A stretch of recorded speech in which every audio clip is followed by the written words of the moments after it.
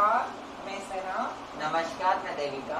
नमस्कार मैं स्वीटी। नमस्कार मैं गौरी। नमस्कार मैं नायरा किरण समुदाय से बात कर रही हूँ।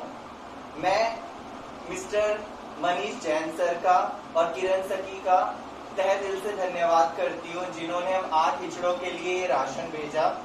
हम गुड़गांव में रहते हैं और मेरे तीन सखियाँ जो कि अभी कोरोना से संक्रमित है इसके लिए वो वीडियो में नहीं आ पाए हैं।